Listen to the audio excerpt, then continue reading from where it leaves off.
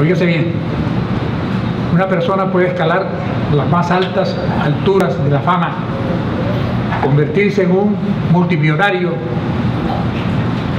tener muchas cosas físicas maravillosas, pero eso no es suficiente para garantizar que esa persona desarrolle una existencia saludable y feliz. Feliz.